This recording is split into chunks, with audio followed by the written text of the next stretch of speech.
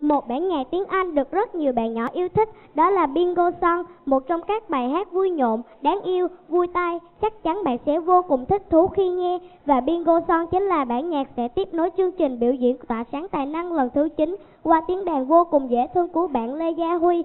Kính mời quý vị và các bạn cùng thưởng thức. Mời bạn Thiên Lập chuẩn bị. vậy là ok rồi